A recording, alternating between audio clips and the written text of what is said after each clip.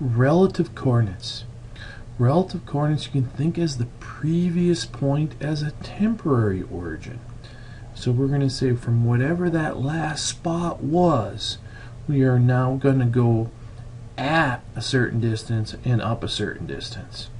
So let's draw uh, let's draw a line. We'll pick on the line command. And we'll start the line command, let's say at 1 comma 1. So I'll type in 1 comma 1 and I'll hit enter. You can see I'm at 1 comma 1. Remember that these little grid lines are at half at a half. So it's over one grid over two, that's one, and up one half and up to one. Now, I want to type in, whenever it's a relative, I want to type in an at symbol. That's above the number two.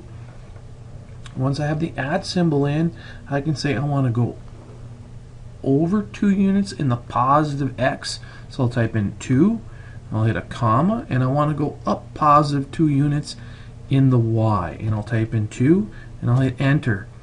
And now that drew that line segment, I'm going to hit enter the finish the line command.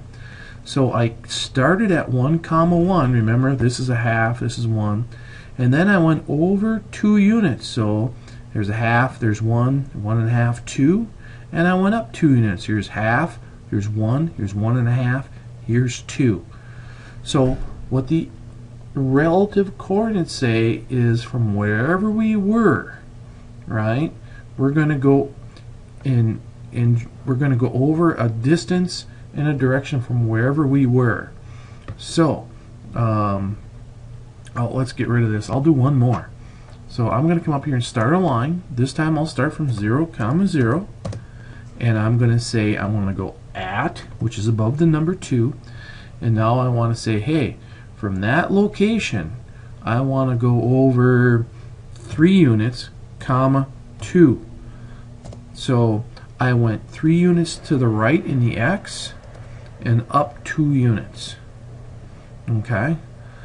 So it doesn't matter re really where I'm at. I can just pick a spot at random. I don't even know where that spot is. But I could say, hey, I want to go at, and I want to go over 3 units, comma 2.